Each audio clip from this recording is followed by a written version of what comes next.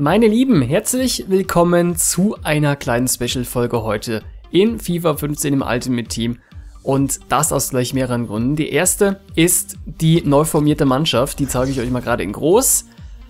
Wir sind sehr, sehr viel grün. Das ist super. Ähm, die Liga BBVA kombiniert jetzt mit der Bundesliga und das komplett. Die komplette rechte Seite plus Sturm. Seht ihr, das ist eben jetzt die spanische Eliteklasse. Und dann haben wir noch die drei Dortmunder mit Shinji Kagawa, dem Namensgeber dieser Serie, Mkhitaryan im zentralen Mittelfeld und hinten Marcel Schmelzer nicht zu vergessen. Und ja, die Chemie ist das Stichwort. Hier seht ihr es, nur zweimal eine 7, eine 9, ansonsten alles 10. Wunderbar. Und hätte ich nicht gedacht, dass das wirklich so schnell schon funktionieren würde, das auch so top aufzustellen. Das ist eine sehr, sehr starke Mannschaft, wie ich finde. Das neue Team der Woche. Und das ist kurios, wie ihr schon sehen könnt wahrscheinlich. Hinten eine Dreierkette, die aber komplett aus Rechtsverteidigern besteht.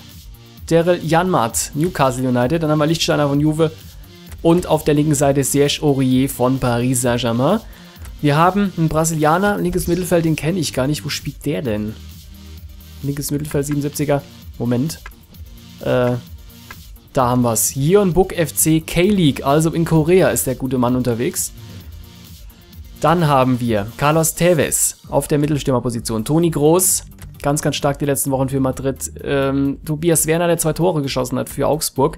Shane Long, den wir ja schon haben. Ne, ich zeige euch mal kurz die Uniform-Variante.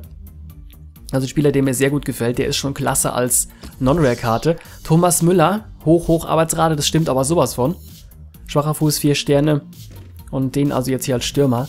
Und Landon Donovan haben wir auch noch drin. Ich meine, das wäre zumindest schon sein zweiter Inform, den er dieses Jahr bekommen hat. In seiner Abschlusssaison. Die Bank mit Fabricio, mit Smith von Ipswich Town. Wir haben Frank Achampong von Anderlecht. Den ähm, mit Sicherheit einige haben wollen mit 93er Tempo. Watkins, rechtes Mittelfeld.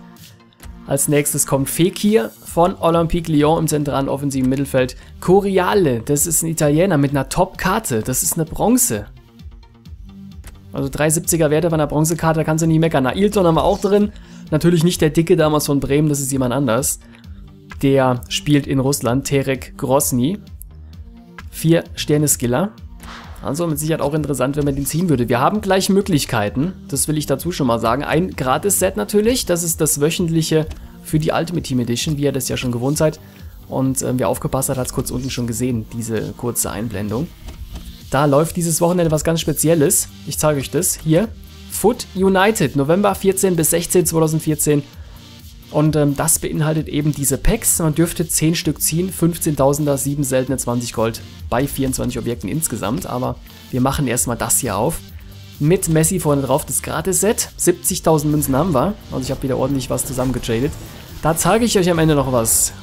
Markus Berg, ehemals Hamburg, Anatoli Timotschuk haben wir auch noch und ähm, den guten Jungen von Wolfsburg. Ja, den können wir für eine eventuelle Bundesliga-Connection nochmal versuchen. Powerhouse Saint-Étienne, das können wir nicht gerade mal reinhauen. Von Twente zu Saint-Étienne. Französischer Traditionsverein. Das Stuttgarter dritte Trikot sieht auch geil aus. Neuer Ball.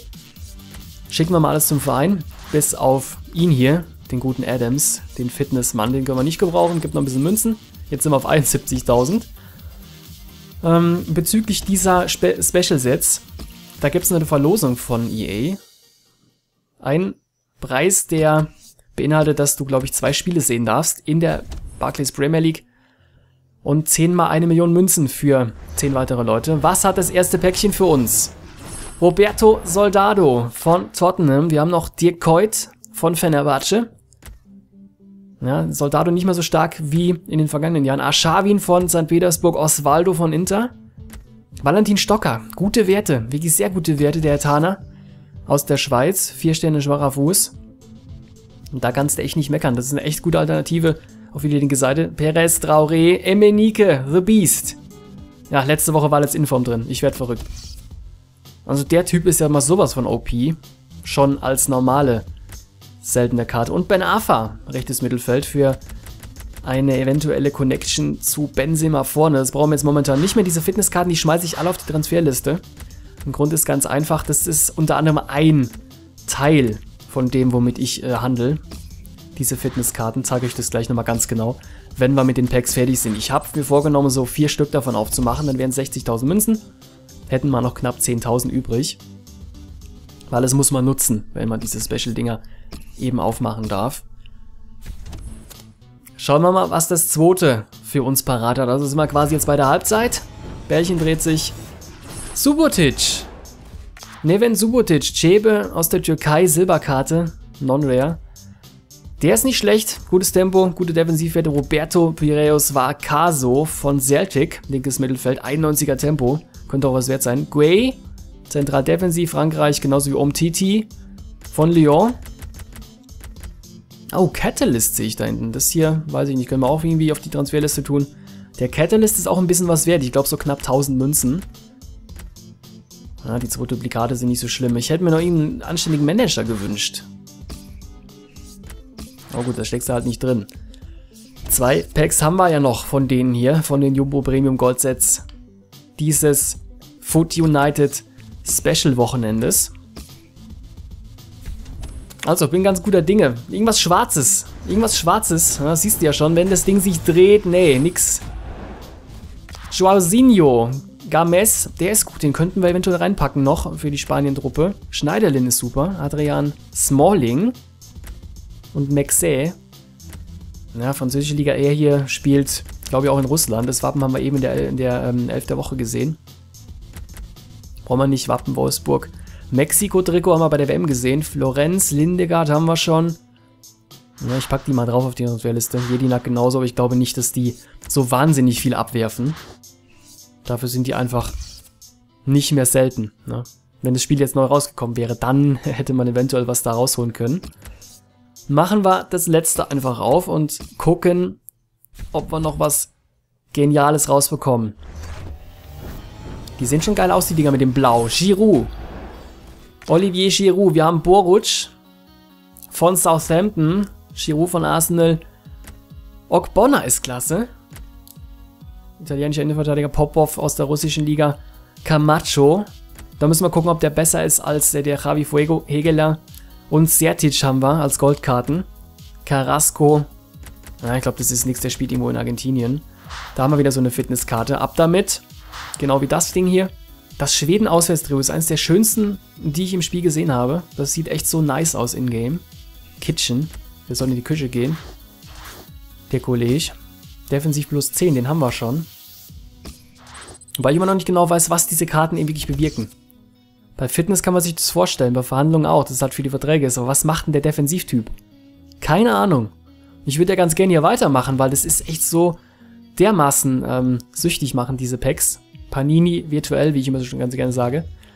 Aber können wir nicht, wir haben zu wenig Münzen. So, und jetzt machen wir das, was ich angekündigt hatte. Ihr wolltet immer ganz gerne wissen, wie holst du dir deine Münzen rein? Das ist eigentlich relativ einfach erklärt. Ähm, wir gucken mal gerade auf die Fitness. Die habe ich eben draufgepackt. Also das ist das, was man machen kann. Alles in dieser Verbrauchsobjekt-Typ-Klasse kannst du im Prinzip handeln. Du musst halt nur gucken, was wirklich Sinn macht. Wir können bei der Fitness mal einsteigen. Gehen dann hier auf Gold. Kannst auch Silber nehmen, aber die sind nicht so wirklich ähm, teuer. Seht ihr hier schon, dass die 700 Gebote, 750. Und man kann es machen wie der gute Kollege hier, dass man vielleicht 900, 950 macht, vielleicht 1000 sofort kaufen. Wenn die dann so weggehen, dann machst du schon Gewinn, wenn du die für 750 einkaufst. Und so funktioniert es halt. Du brauchst einen Münzenpuffer, ihr seht es hier, einen Münzenpuffer, womit du halt möglichst viele davon einkaufen kannst, um damit dann eben Gewinn zu steigern. Dann kannst du immer mehr davon kaufen und äh, somit dreht sich das dann wie so ein Schneeballsystem. Genau wie diese Dinger, Spielertraining. Allerdings ist das ein bisschen komplizierter, weil die noch teurer sind. Die sind noch deutlich teurer. Ich sehe das bis zu 1300 kannst du hier rausholen. Da hat jetzt gerade einer 1000 geboten. Da muss man halt so ein bisschen so ein Händchen entwickeln. Aber das ist eigentlich schon das Geheimnis dieser ganzen Geschichte. Ich muss mich da nochmal beim Bruder bedanken. Der hat mir das Ganze nämlich gesagt und äh, mich auf diesen Trichter gebracht. Und das funktioniert wirklich.